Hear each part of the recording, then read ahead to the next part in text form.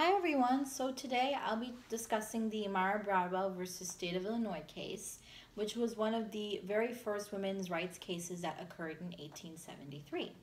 So Myra Bradwell was a married woman and she was training to practice law under the Illinois bar under the protection of her husband. And even though she passed the bar, uh, the, her application was denied because she was a married woman.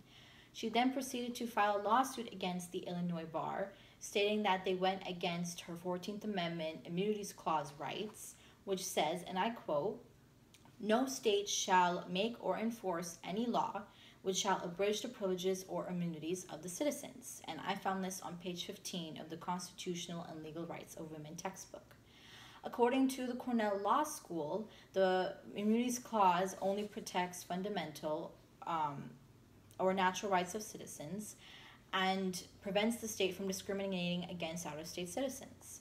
And because this only protects federal rights, if one would want to obtain a job or even practice law under the state, that would be considered more of a state right.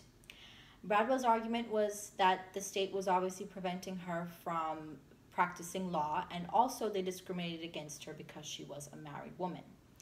The Supreme Court had reaffirmed the Immunities Clause only protects federal rights and stated that the right to admission to practice in the courts of the state is not one of them. This right in no sense depends on citizenship of the United States, and I found that on page 16 of our textbook. They also made another claim saying that women and men's life destinies are totally different. Naturally, a man is supposed to be a woman's protector, and a woman is supposed to, by the divine law, stay at home, be the mother of her kids, and do cooking and the cleaning. And it was frowned upon for women to have an independent career separate from their husbands.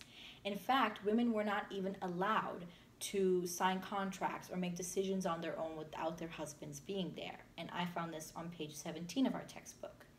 In the end, um, the Supreme Court went against Bradwell's case, and according to Oyez.com, they said that even though there are some states or some uh, privileges and rights that the states permit, the right to practice law is not one of them.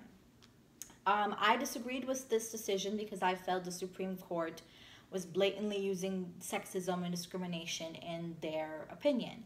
And the fact that they said a woman's job is to just be at home and do the cooking and the cleaning and taking care of the kids was just disturbing to me because that's not all what women can do. And this kind of gender stereotyping has been going on for ages and is still relevant today, whether it's in the workplace, at home, or you know, in society in general. And women have always been referred to as weak, too sensitive, or even stupid. But we are the exact opposite. We are confident, beautiful, intelligent, and powerful. We can be independent and have our own life.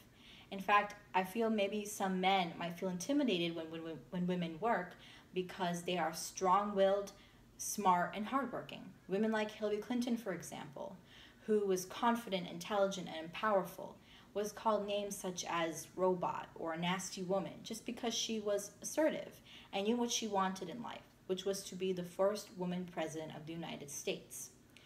Even Justice Ginsburg herself had to face oppression from her male colleagues because she was strong minded and maybe had some opinions that were a little different from theirs.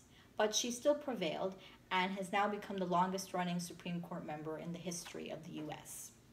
And I have a quote by her that was one of my favorites. Um, it's about women working in a male dominated world.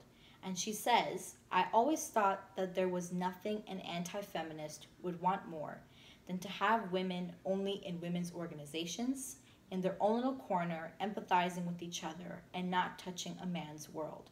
If you're going to change things, you have to be with the people who hold the levers. And I completely agree with her. And this came from an interview she did with the New York Times back in 2009. So I think women like Myra Bradwell deserved a lot better. She deserved to practice law under the bar, whether she was married or not. I feel women need to still stick up for themselves and work harder to make into those high professional levels. But we shouldn't have to because we are women we are not just, you know, cleaning utensils. We are shining diamonds in the rough. So that was my presentation. I hope you guys liked it. And um, yeah, thank you so much.